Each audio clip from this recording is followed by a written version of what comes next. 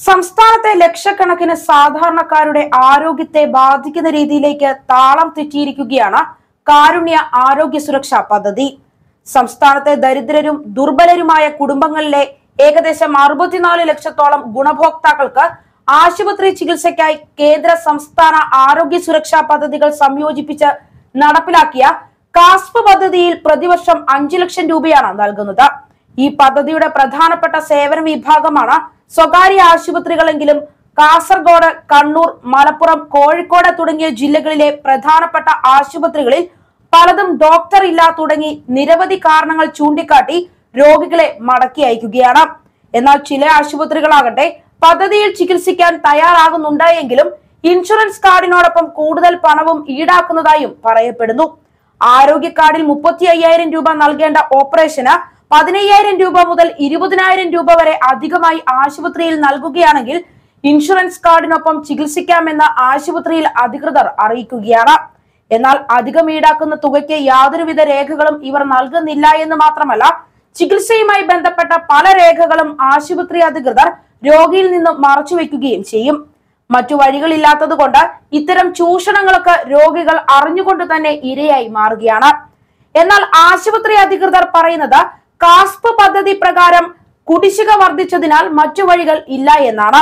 മുന്നൂറ്റി അറുപത് കോടിയോളം രൂപ കുടിശ്ശിക ആയതോടുകൂടി പല സ്വകാര്യ ആശുപത്രികളും കാരുണ്യ സേവനത്തിൽ നിന്നും പിന്മാറുകയാണ്. കാസ്പ് പദ്ധതി പ്രകാരം അഞ്ചു ലക്ഷം രൂപ വരെ ചികിത്സയ്ക്കായി വിനിയോഗിക്കാം. ഒരു കുടുംബത്തിലെ മുഴുവൻ വ്യക്തികൾക്കോ അല്ല എങ്കിൽ ഒരു വ്യക്തിക്ക് മാത്രമായോ ഈ പദ്ധതിയിലൂടെ സഹായം ലഭിക്കും. കുടുംബാംഗങ്ങളുടെ പ്രായപരിധിയോ കുടുംബാംഗങ്ങളുടെ എണ്ണമോ ഒന്നും തന്നെ ഈ പദ്ധതിയുടെ മാനദണ്ഡമല്ല. പദ്ധതിയിൽ അംഗമാകുന്ന ഏതൊരു വ്യക്തിക്കും മുൻഗണനാ മാനദണ്ഡങ്ങളില്ലാതെ ചികിത്സാ സഹായം ലഭിക്കുമെന്നതാണ് കാസ്പിനെ മറ്റ് ആരോഗ്യ സുരക്ഷാ പദ്ധതിയിൽ നിന്ന് വേറിട്ട് നിർത്തിയിരുന്നത്. എന്നാൽ കുടിശ്ശിക വർദ്ധിച്ചതോടുകൂടി കാരുണ്യ പദ്ധതിയുടെ ഭാഗമായി ചികിത്സ ഉണ്ടാകില്ല എന്ന് മിക്ക സ്വകാര്യ ആശുപത്രികളും പറയാതെ പറയുകയാണ്. പദ്ധതിയിൽ നിന്ന് ആശുപത്രികൾ പിന്മാറുമെന്ന് രണ്ടായിരത്തി ഇരുപത്തി മൂന്ന് ഒക്ടോബർ മാസം സർക്കാരിനെ അറിയിച്ചതോടെ നൂറ്റിനാല് കോടി ആശ്വാസം എന്ന നിലയിൽ സർക്കാർ നൽകിയിരുന്നു. തുടർന്ന് മാസങ്ങൾ പിന്നിട്ടുവെങ്കിലും മറ്റ് നടപടികൾ ഉണ്ടായില്ല എന്നാണ് സ്വകാര്യ ആശുപത്രി അധികൃതരിൽ നിന്നും മനസ്സിലാക്കാൻ സാധിക്കുന്നത്. മിക്ക ആശുപത്രികൾക്കും ഒരു വർഷം മുതൽ ആറു മാസം വരെയുള്ള പണം കിട്ടാനുണ്ട്.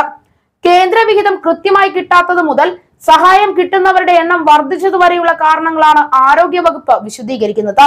എന്നാൽ കേന്ദ്ര സർക്കാർ വിഹിതം വാങ്ങിച്ചെടുക്കേണ്ട ജോലി സ്വകാര്യ ആശുപത്രികൾക്കല്ലെന്നും കേന്ദ്ര പദ്ധതിയായ ആയുഷ്മാൻ ഭാരത് പ്രധാനമന്ത്രി ജൻ ആരോഗ്യ യോജന പദ്ധതിയുമായി നേരിട്ടല്ല തങ്ങൾ കരാർ വെച്ചിരിക്കുന്നത് എന്നും ആർ എസ് ബി വൈ സമഗ്ര ആരോഗ്യ ഇൻഷുറൻസ് പദ്ധതി കേരള സർക്കാർ പദ്ധതിയായ CHIS R S B Y CHIS കുടുംബങ്ങളിലെ അറുപത് വയസ്സിനും അതിനു മുകളിലും പ്രായമുള്ളവർക്കായുള്ള സമഗ്ര ആരോഗ്യ ഇൻഷുറൻസ് പദ്ധതിയായ എസ് ചിസ് ലോട്ടറി വകുപ്പ് വഴി നടപ്പിലാക്കിയ ട്രസ്റ്റ് മോഡൽ പദ്ധതിയായ കാരുണ്യ ബെനവലന്റ് ഫണ്ട് അഥവാ K B F Ayushman Bharat Pradhan Mantri Jan Arogya Yojana എന്നിവയെ കുറിച്ച് സാമ്പാർ രൂപത്തിലാക്കിയ കേരളത്തിന്റെ കാസ്പ് പദ്ധതി വഴിയാണെന്നും ആശുപത്രി അധികൃതർ പറയുന്നു.